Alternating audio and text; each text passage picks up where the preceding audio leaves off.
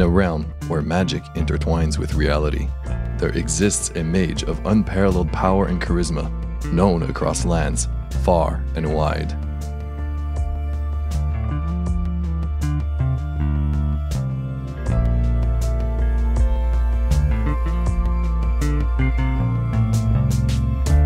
In a display of extraordinary valor, he resolved to engage in a momentous duel against the fearsome Demon King. A battle waged not only for the salvation of a beleaguered nation, but for the fate of the entire world. Following a tumultuous and ferocious battle, the mage emerges victorious from the duel, a triumph shadowed by fleetingness.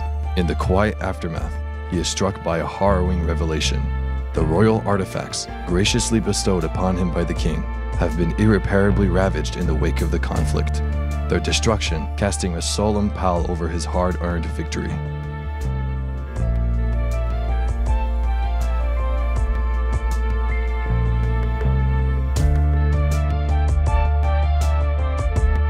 The mage, pleased with his victory, returns to the palace to announce his triumphant win to the king.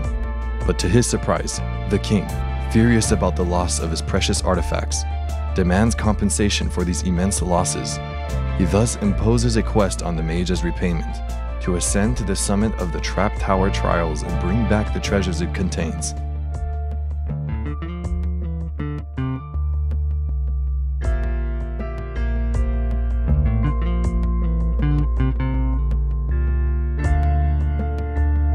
Faced with no other recourse, the mage resignedly acquiesced to the sovereign's edict.